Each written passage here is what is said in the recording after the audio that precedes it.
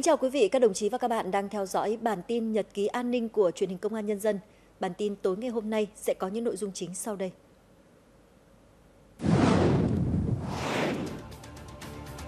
Bộ Công an Việt Nam tăng cường hợp tác phòng chống tội phạm với Cơ quan Cảnh sát Quốc gia Hàn Quốc.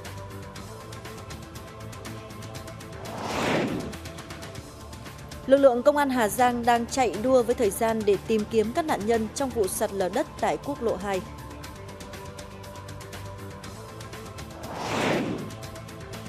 Trong phần tin quốc tế, thủ lĩnh Hezbollah bị ám sát, bước leo thang nguy hiểm tại Trung Đông.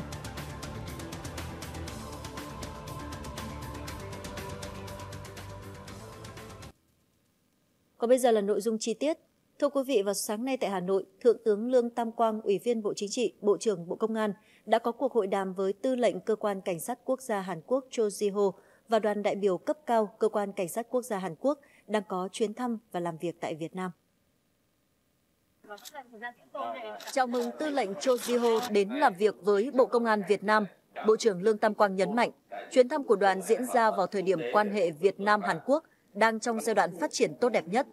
bày tỏ vui mừng trước sự thành công của chương trình giao lưu văn hóa thể thao giữa Bộ Công an Việt Nam và Cơ quan Cảnh sát Quốc gia Hàn Quốc lần thứ hai. Bộ trưởng Lương Tam Quang nhấn mạnh, đây là một trong những hoạt động ý nghĩa nhằm giúp cho lực lượng cảnh sát hai bên tăng cường sự hiểu biết, tin cậy và gần gũi với nhau. Tại hội đàm, hai bên thống nhất sẽ duy trì ủng hộ lẫn nhau tại các diễn đàn khu vực và quốc tế, tiếp tục trao đổi đoàn các cấp, tham gia ký kết các thỏa thuận quốc tế về phòng chống tội phạm và tội phạm ma túy đẩy mạnh hợp tác trong lĩnh vực phòng chống tội phạm xuyên quốc gia, tội phạm sử dụng công nghệ cao, đặc biệt là công tác hợp tác phòng chống tội phạm và truy bắt tội phạm truy nã thông qua tổ thông tin liên lạc,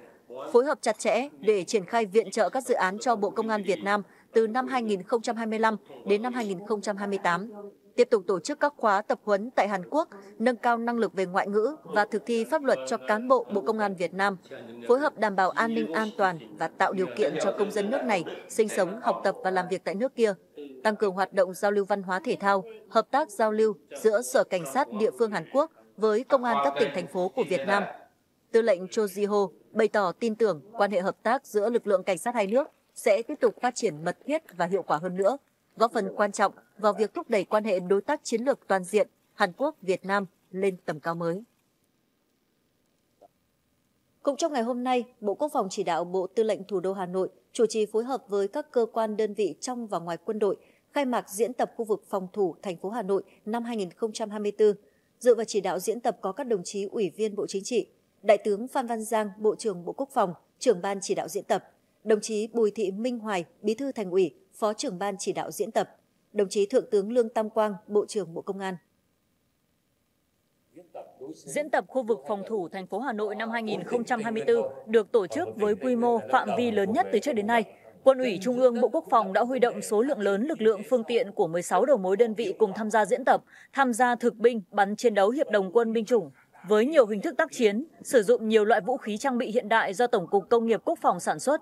trong quá trình diễn tập còn sử dụng ứng dụng khoa học công nghệ thông tin, truyền hình ảnh. Diễn tập khu vực phòng thủ thành phố Hà Nội năm 2024 diễn ra từ ngày 28 tháng 9 đến ngày 2 tháng 10 với các nội dung diễn tập phòng thủ dân sự, vận hành cơ chế thực binh bắn chiến đấu và được chia thành 4 giai đoạn. Thưa quý vị và các đồng chí, 94 năm qua trong quá trình lãnh đạo, Đảng thường xuyên đổi mới, phát triển, hoàn thiện phương thức lãnh đạo, phương thức cầm quyền phù hợp với yêu cầu nhiệm vụ đặt ra, từ đó dẫn dắt dân tộc Việt Nam giành nhiều thành tựu to lớn, có ý nghĩa lịch sử để đất nước ta có được cơ đồ tiềm lực, vị thế và uy tín quốc tế như ngày nay.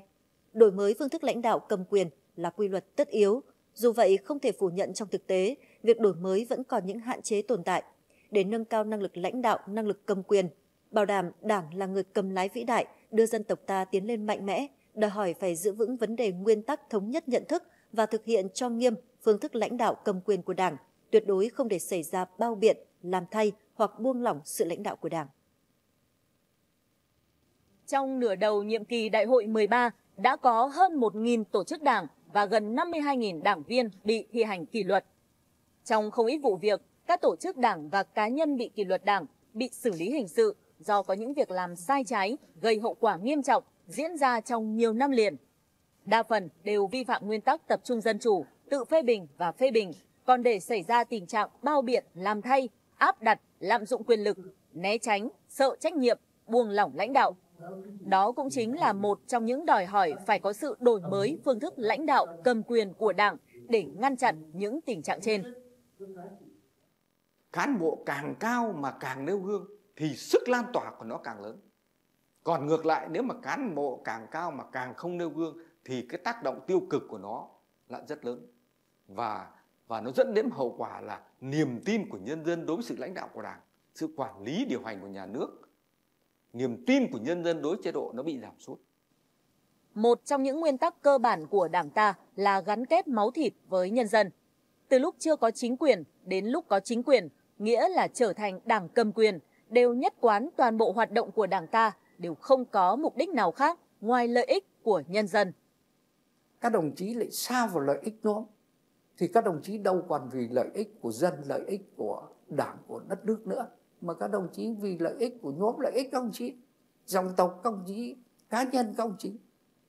Và đồng chí đã kết luận, đồng chí nào dính đến lợi ích nhóm ấy, thì chính là đang phản bội lại lý tưởng của dân, của đảng, của đất nước. Loại bỏ những người đã không còn kiên định các vấn đề nguyên tắc, chính là để bảo đảm tuyệt đối không xảy ra tình trạng bao biện làm thay, cũng không để buông lỏng sự lãnh đạo của Đảng. Thông điệp ấy tiếp tục được Tổng Bí thư Chủ tịch nước Tô Lâm khẳng định như một trong những nhiệm vụ quan trọng hàng đầu sắp tới trong tổng thể công tác xây dựng chỉnh đốn Đảng và hệ thống chính trị.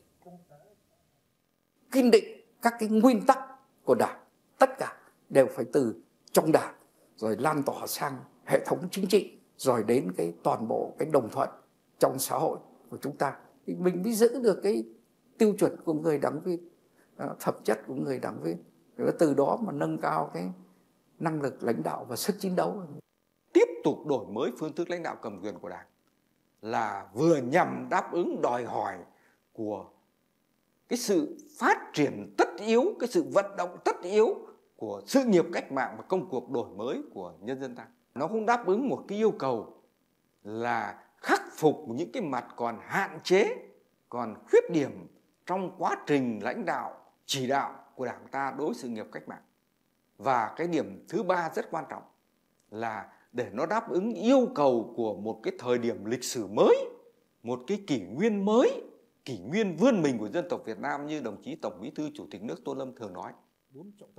Hội nghị Trung ương 10 diễn ra sớm hơn và ngắn hơn dự kiến, với chương trình làm việc cả ngoài giờ hành chính, tập trung mọi nguồn lực, biện pháp để hoàn thành khối lượng công việc đồ sộ.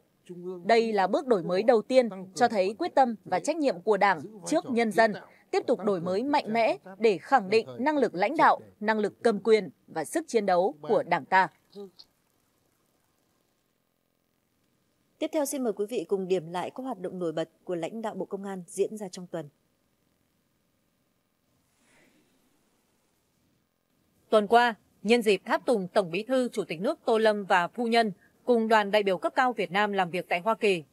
Thượng tướng Lương Tam Quang, Ủy viên Bộ Chính trị, Bộ trưởng Bộ Công an đã có cuộc gặp và làm việc với Phó Cố vấn An ninh Quốc gia Hoa Kỳ, bà Ann Neuberger. Tại buổi làm việc, hai bên nhất trí tăng cường trao đổi đoàn các cấp để thường xuyên chia sẻ thông tin về những hiểm họa trên không gian mạng, kinh nghiệm điều tra xử lý tội phạm mạng, thiết lập cơ chế hợp tác giữa hai bên để kịp thời trao đổi thông tin, phối hợp xử lý các tình huống khẩn cấp, các vụ việc nóng liên quan an ninh mạng. Cũng trong khuôn khổ làm việc tại Hoa Kỳ, Bộ trưởng Lương Tam Quang đã có cuộc hội đàm với Bộ trưởng Bộ An ninh Nội địa Hoa Kỳ Alejandro Mayorkas. Hai bên đã thống nhất tăng cường trao đổi đoàn trong các lĩnh vực phòng chống tội phạm,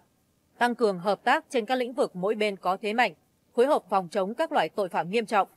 Làm việc với Thứ trưởng Ngoại giao Hoa Kỳ Uzra Zia, Bộ trưởng Lương Tam Quang đề nghị trong thời gian tới hai bên tăng cường trao đổi thông tin, làm rõ sự khác biệt trên cơ sở tôn trọng luật pháp quốc tế và các công ước mà hai nước cùng tham gia nhằm đóng góp thiết thực vào hòa bình ổn định của khu vực và trên thế giới, cũng như lợi ích chính đáng của nhân dân mỗi nước. Tiếp Phó Tổng Thư ký phụ trách về gìn giữ hòa bình Liên Hợp Quốc, Bộ trưởng Lương Tam Quang cũng đề nghị Ngài Jean-Pierre Lacoste trong thời gian tới tiếp tục quan tâm, tạo điều kiện thúc đẩy hợp tác giữa các cơ quan của Liên Hợp Quốc và Bộ Công an Việt Nam, hỗ trợ trang thiết bị, nâng cao năng lực phòng chống tội phạm xuyên quốc gia cho lực lượng công an Việt Nam. Nhân dịp tháp tùng Tổng Bí thư Chủ tịch nước Tô Lâm và phu nhân cùng đoàn đại biểu cấp cao Việt Nam thăm cấp nhà nước tới Cộng hòa Cuba, Thượng tướng Lương Tam Quang, Ủy viên Bộ Chính trị, Bộ trưởng Bộ Công an Việt Nam đã có cuộc hội đàm với đồng chí Lazaro Alberto Alvarez Casa, Bộ trưởng Bộ Nội vụ Cộng hòa Cuba.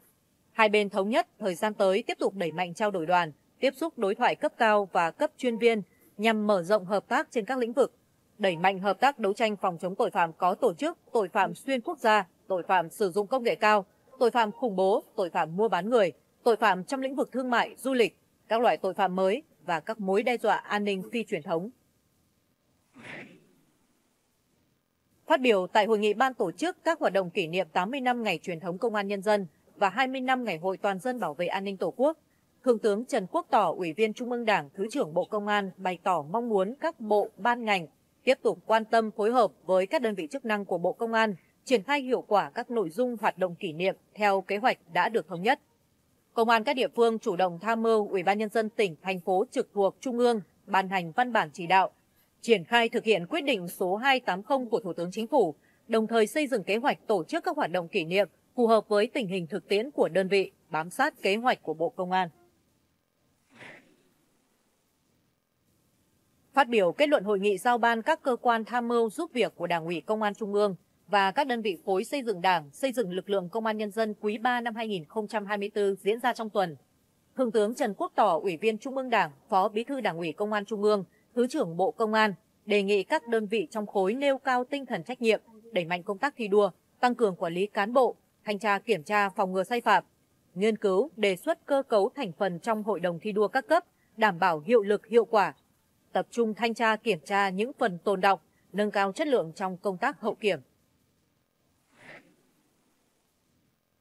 Tiếp xã giao trưởng đại diện cơ quan phòng chống ma túy và tội phạm Liên Hợp Quốc UNODC, khu vực Đông Nam Á Thái Bình Dương, Masus Karimipur.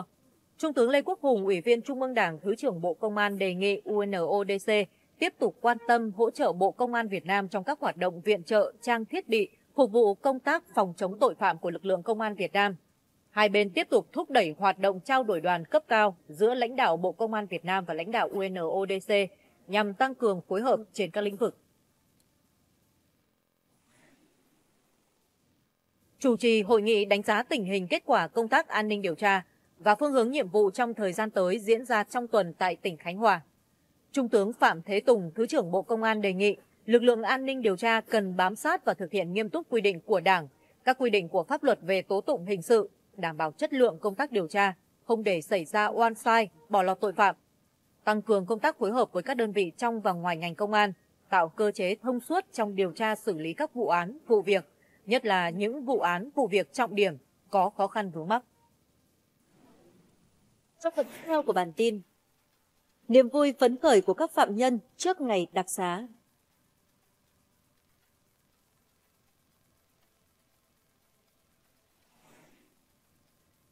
Liban khẳng định ngoại giao là giải pháp duy nhất.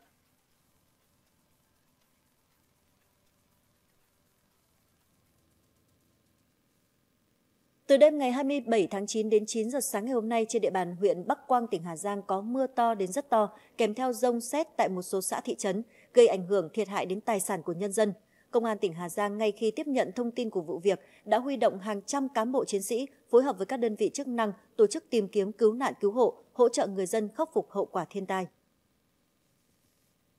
Cụ thể vào khoảng 8 giờ sáng ngày hôm nay, sạt lở Ta Luy Dương, km 51 quốc lộ 2 qua xã Việt Vinh, huyện Bắc Quang, chiều dài 300 m, khối lượng đất đá sạt lở khoảng 3.000 m khối, đã làm sập đổ 3 ngôi nhà, một người tử vong, hai người mất tích và 5 xe bị vùi lấp, giao thông bị ách tắc. Ngay sau khi xảy ra sự cố sạt lở, các cán bộ chiến sĩ của phòng cảnh sát phòng cháy chữa cháy và cứu nạn cứu hộ và phòng cảnh sát giao thông công an tỉnh Hà Giang đã nhanh chóng cùng với cán bộ chiến sĩ công an huyện Bắc Quang khẩn trương có mặt tại hiện trường, phối hợp với các lực lượng chức năng và chính quyền địa phương tìm kiếm các nạn nhân trong vụ sạt lở. Năm máy xúc cỡ lớn, một máy xúc lật và 8 ô tô tải đã được huy động đến hiện trường để san gạt vận chuyển đất đá. Đến thời điểm này, lực lượng chức năng đã tìm thấy một người tử vong là bà Tạ Thị Hạnh sinh năm 1971, trú tại thôn Nậm Buông, xã Việt Vinh. Thông tin mà chúng tôi mới cập nhật do mưa lớn nguy cơ sạt lở đất đá có thể tiếp diễn nên việc tìm kiếm các nạn nhân mất tích đang phải tạm dừng. Trong khi đó, thì Cục Quản lý Khám chữa bệnh Bộ Y tế vừa có công văn gửi Sở Y tế tỉnh Hà Giang về việc tập trung cứu chữa các nạn nhân trong vụ sạt lở đất này. Cục Quản lý Khám chữa bệnh Bộ Y tế ghi nhận và đánh giá cao Sở Y tế Hà Giang đã nhanh chóng điều động các đơn vị trực thuộc để cấp cứu tại chỗ, vận chuyển người bệnh đến các bệnh viện cấp cứu điều trị. Cục Quản lý Khám chữa bệnh đề nghị Sở Y tế Hà Giang chỉ đạo các bệnh viện trực thuộc và phối hợp với các bệnh viện tuyến trên, các đơn vị liên quan huy động các thầy thuốc giỏi, bảo đảm đủ thuốc, dịch truyền, phương tiện cấp cứu, xử trí, cứu chữa người bị nạn nhằm đảm bảo việc cứu chữa được kịp thời, nhằm hạn chế tối đa người tử vong. Cục Quản lý Khám chữa bệnh cũng giao Bệnh viện Hữu nghị Việt Đức, Bệnh viện Bạch Mai chủ động hỗ trợ về chuyên môn kỹ thuật khi cần thiết, sẵn sàng cử cán bộ chuyên môn phối hợp với các ngành y tế của Hà Giang cứu chữa các trường hợp nặng. Trong trường hợp cần thiết, hỗ trợ thuốc, máu, dịch truyền, phương tiện cấp cứu, vật tư, trang thiết bị y tế cho Sở Y tế Hà Giang để cứu chữa nạn nhân. Đề nghị Sở Y tế Hà Giang sớm tổng hợp báo cáo gửi về Cục Quản lý Khám chữa bệnh, cập nhật diễn biến của việc cứu chữa người bị nạn và các ý kiến đề xuất kiến nghị với Bộ Y tế nếu có nhằm đảm bảo công tác cấp cứu điều trị cho các nạn nhân được kịp thời. Trong khi đó thì ngày hôm nay, Ủy ban nhân dân tỉnh Phú Thọ phối hợp với Cục Cứu hộ Cứu nạn Bộ Quốc phòng đã tổ chức triển khai các biện pháp phương án tiếp theo trong việc trục vớt cầu và tìm kiếm người mất tích trong vụ sự cố sập cầu Phong Châu nối huyện Tam Nông với huyện Lâm Thao xảy ra vào lúc 10 giờ sáng ngày 9 tháng 9. Theo Cục Cứu hộ Cứu nạn Bộ Quốc phòng, đơn vị đã yêu cầu đội binh chủng đặc công huy động lực lượng tìm kiếm khoảng 20 người, trong đó có 15 người nhái tinh nhuệ, tiến hành giả soát tổng quan khu vực cầu bị sập với bán kính rộng 10 km. Xác định rõ các khu vực nước xoáy, luồng chảy, huy động phương tiện xác định mục tiêu tìm kiếm. Công tác tìm kiếm đã được triển khai thực tế theo kết quả mà người nhái lặn tìm kiếm khu vực cầu sập, đồng thời tìm kiếm theo địa chỉ thông tin người dân cung cấp. Hàng ngày phải có thông tin về tiến độ triển khai. Cùng với đó, Ủy ban nhân dân tỉnh Phú Thọ cũng phối hợp với các đơn vị tham gia xây dựng kế hoạch, phương án trục vớt, tìm kiếm cụ thể, tuyên truyền, giải thích để động viên tinh thần các gia đình có người thân mất tích, nắm chắc tình hình an ninh chính trị, tư tưởng của người dân, sẵn sàng xử trí khi có tình huống xảy ra. Lực lượng chức năng đảm bảo an ninh trật tự, xử lý thông tin đảm bảo chính xác, chính thống với mục tiêu sớm tìm kiếm các nạn nhân mất tích và trục vớt nhịp cầu bị sập.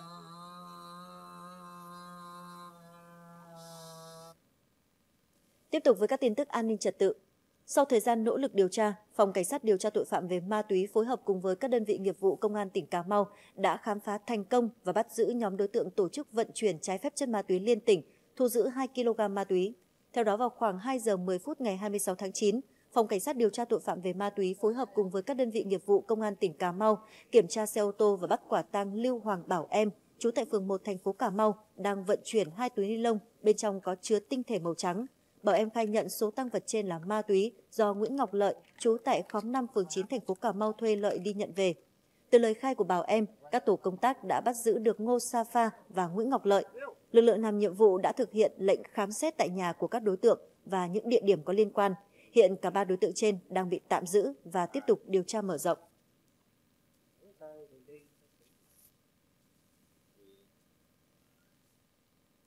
Thưa quý vị, theo kế hoạch vào ngày mai 30 tháng 9 sẽ tổ chức họp báo công bố quyết định của Chủ tịch nước về đặc xá tha tù trước thời hạn và tổ chức tha người được xét đặc xá theo quyết định của Chủ tịch nước. Như vậy, cùng với các phạm nhân trên cả nước, các phạm nhân đủ điều kiện đặc xá năm 2024 tại tỉnh Sơn La cũng sẽ được công bố quyết định chính thức.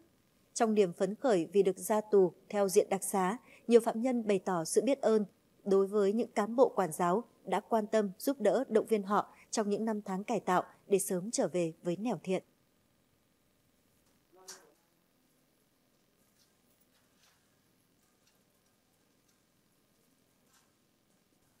Buồng giam phạm nhân nữ, trại tạm giam công an tỉnh Sơn La. Phạm nhân Nguyễn Thị Huệ, quê huyện Mai Sơn, là một trong những phạm nhân trong diện đặc xá lần này. Phạm tội lợi dụng chức vụ quyền hạn lừa đảo chiếm đoạt tài sản, bị tuyên án hơn 20 tháng tù. Mấy ngày nay, chị cũng như các phạm nhân khác trong diện đặc xá đếm mong từng ngày về. Và tôi cũng rất là mang ân tình là ban giám thị trại giam, các cán bộ quản giáo ở đây đã cho tôi hiểu được giúp đỡ tôi tận tình giúp đỡ tôi động viên tôi an ủi tôi để tôi yên tâm cải tạo tốt để trở về với gia đình và xã hội tôi cũng rất là mong nay mai tôi xin hứa là nay mai nếu được về với gia đình và xã hội tôi sẽ cố gắng trở thành là người công dân có ích cho xã hội cũng giống như phạm nhân Nguyễn Thị Huệ, phạm nhân Nguyễn Thanh Bảo ở huyện Sông Mã phạm tội đánh bạc và bị tuyên án 35 tháng tù giam, được giảm còn 26 tháng tù giam. Từ ngày đơn xin đặc xá được nộp, Bảo thao thức đến mất ngủ. Viễn cảnh về ngày ra trại hiện về mỗi đêm. Tiếng của người thân, của bố mẹ, của gia đình vợ con thăm hỏi, tiếng rộn ràng của đường xá ngoài kia dường như là một thế giới rất xa, rất khác so với không gian yên ắng nơi này, dù chỉ cách nhau đúng một bức tường trại giam. Cũng được uh, sự uh, khoan hồng của nhà nước cho nên uh, sau này về thì em sẽ cố gắng là sẽ không vi phạm pháp luật cũng như là sẽ cố gắng làm ăn cũng theo công việc cũ là để kiếm tiền cho con cái ăn học và dạy bảo các cháu của không chỉ riêng đồng chí à, riêng đồng chí giám thị mà tập thể ban giám thị trại tạm giam quân tỉnh là mong muốn khi mà các anh chị được à, đặc xá trở về à, địa phương à, được chính quyền địa phương và cộng đồng quan tâm không kỳ thị tạo điều kiện để cho anh chị được phát triển về bản thân cũng như là sau khi mà phát triển về bản thân mà lo được cho bản thân và sau đó thì giúp ích cho gia đình cũng như là xã hội. Cánh cổng trại đóng lại, cánh cửa của cuộc đời sẽ mở ra. Trong số những người được đặc xá, có những người tóc đã bạc, có những thanh niên tuổi mới đôi mươi. Mỗi người, mỗi số phận, mỗi hoàn cảnh, mỗi câu chuyện và mỗi ước mơ, nhưng tất cả họ đều mang chung một niềm khao khát hướng thiện. Chỉ mai thôi, họ sẽ tiếp tục được viết tiếp những ước mơ còn đang giang dở.